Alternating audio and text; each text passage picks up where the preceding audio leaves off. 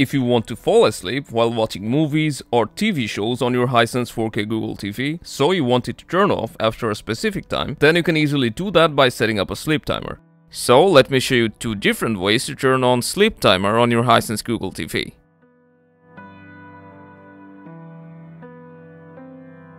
One way to set a sleep timer on your Hisense Google TV is from the settings. So, just go to all settings, then open system, power and energy, then power.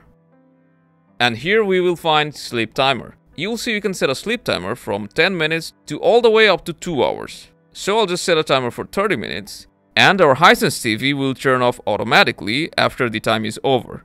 But there's another easy way to turn on sleep timer, which is by using Google Assistant. You can just press and hold the Google Assistant button on your remote and ask Google to set a sleep timer. Or if your Hisense TV supports hands-free Google Assistant, then you can use a Google Assistant command, which is Hey Google, set a sleep timer, then your time.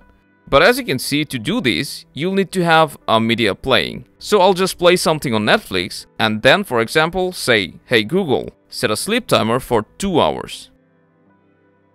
Smart TV 4K FFM will stop playing in 2 hours.